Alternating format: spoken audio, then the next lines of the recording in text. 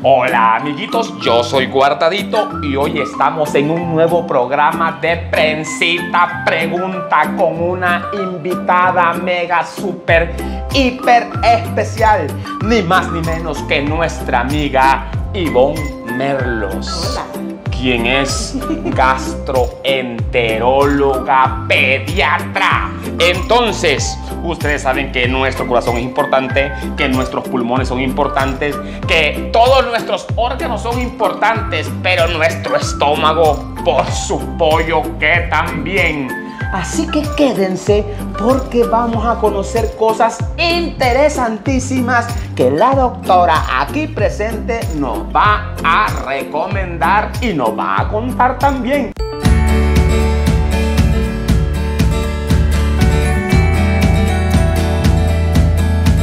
Muy bien, doctora. Los 29 de mayo de todos los años hay una celebración en el mundo súper especial. ¿Qué es? ¿Por qué? ¿Cómo es la cosa? Cuéntenos, por favor. Bien, los 29 de mayo celebramos el Día Mundial de la Salud Digestiva. ¿Y esto por qué se celebra en esa fecha?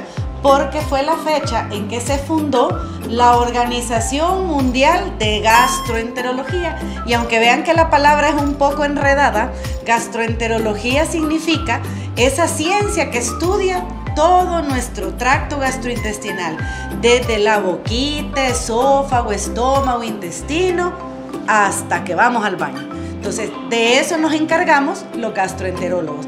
¿Por qué es importante la salud gastrointestinal?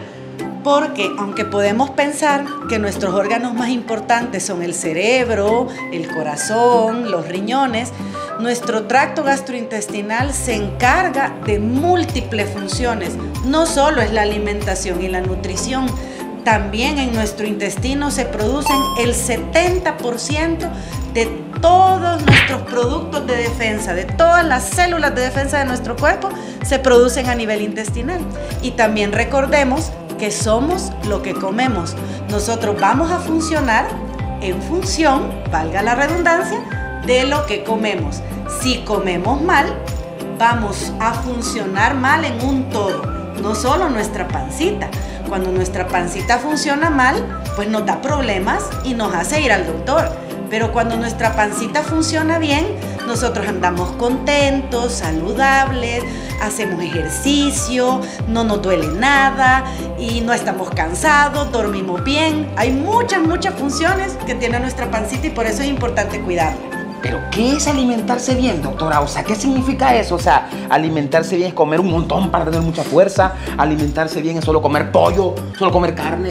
¿Qué es alimentarse bien, doctora? Alimentarse bien significa que lo que yo consumo hace que mi cuerpo funcione de forma adecuada. Quiere decir que si yo me como seis pupusas, no voy a funcionar bien porque yo no me alimenté de forma equilibrada. Equilibrio significa que en mi plato de comida debo incluir proteínas, eso significa leche, queso, carne, pollo, pescado, huevo, todo lo que me implique que sea de origen animal me aporta proteínas. Y debo tener en mi plato también alimentos de origen vegetal. Ahí están todas las frutas y los que a muchos niños no les gusta, que son las verduras, pero que son muy importantes, porque este grupo de alimentos nos aporta muchas vitaminas y muchos minerales que hacen que sus huesos sean fuertes, que sus dientitos sean fuertes, que tengan buenos músculos, mucha fuerza. Y el otro grupo importante para incorporar en sus platos son las harinas, que nosotros le llamamos los carbohidratos. Las harinas que son el arroz, el pan, la tortilla, la papa, el camote, la yuca, los macarrones, todo lo que es harina también debe incluir el plato. Entonces, el plato del buen comer tiene que llevar proteína, vegetales o frutas y harinas. Entonces, cuando yo como de los tres grupos principales, me estoy alimentando de forma saludable.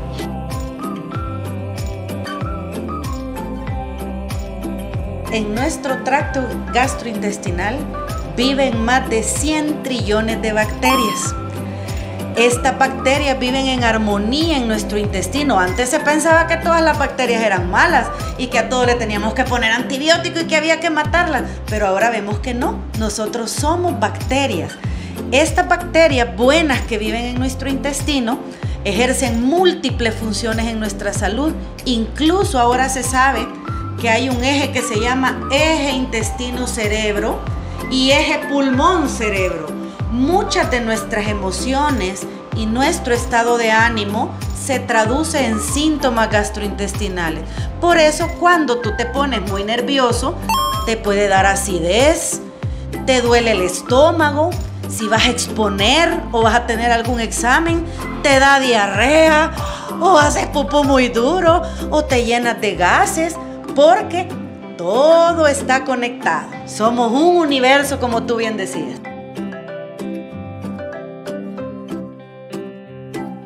Cuénteme usted, doctora, ¿es cierto o es falso que se aprovecha más la fruta directamente? O sea, si yo agarro un mango, lo lavo bien, lo desinfecto, yo estoy seguro que ya está limpio aquello y me lo como, ¿eso es mejor a que yo haga un fresco de mango, aunque no le ponga azúcar, aunque es nada. ¿Qué creen, niños?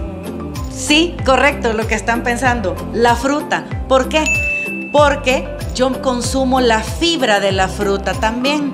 En cambio, cuando hacemos el fresco, a veces lo colamos y solo sacamos el azúcar de la fruta. Otra cosa, vamos a ver si eh, usted nos saca de la duda. ¿El arroz engorda? Eh, los coditos engordan, eh, los macarrones engordan. Eh, ¿Eso cómo, es la cosa? No, ningún alimento engorda. Nosotros engordamos cuando los comemos sin equilibrio. lo que pasa es que aquí la clave es lo que venimos mencionando, es el equilibrio. Los niños, por definición, no se ponen a dieta. Los niños se estructuran y se equilibran para alimentarse, ¿sí?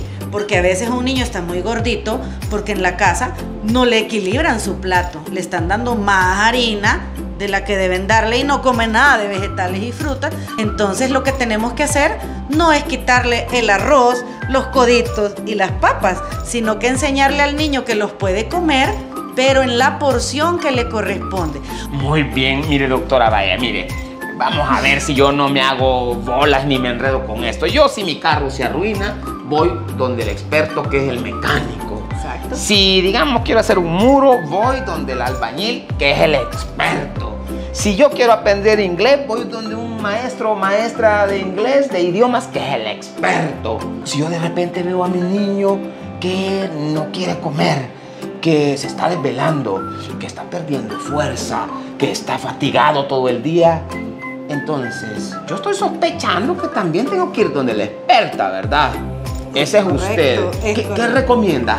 Eh, Vaya, si tú tienes un problema con tu pancita, por ejemplo, si te duele mucho, si sientes que se te sube el ácido y te dan ganas de vomitar, si sientes sabor feo o amargo en la boca, si sientes ardor, si sientes que estás muy sopladito o muy lleno de gases, si haces pupú muy aguadito o demasiado duro, la experta soy yo. Tienen que buscar un gastroenterólogo pediatra. Perfecto. Doctora, ya nos vamos, pero estamos, mire, ahí sí que satisfechos. Esa es la palabra correcta. Y agradecidos por todo este universo de conocimiento que usted nos comparte. ¿Algo que con lo que se quiera despedir con los amiguitos y las amiguitas? Sí, recuerden que este mes de mayo se celebra el Día Mundial de la Salud Digestiva y el lema es Nuestro planeta, nuestra salud. Tomen mucha agua consuman muchas frutas y verduras que les aportan fibra y si sienten alguna molestia con su pancita, díganselo siempre a sus papitos que ellos se van a encargar de llevarlos donde los necesiten. Muy bien, no me queda más que agradecerle, doctora, de verdad el espacio. Y a ustedes, amiguitos y amiguitas, recuerden, comer bien no es comer de todo así y desordenadamente. Comer bien es comer equilibradamente, según nos explicó nuestra experta. No se olviden que este video lo encuentran para poder verlo y además compartirlo en el canal de YouTube y en las redes sociales de Prensita. Así que nos vemos otro día.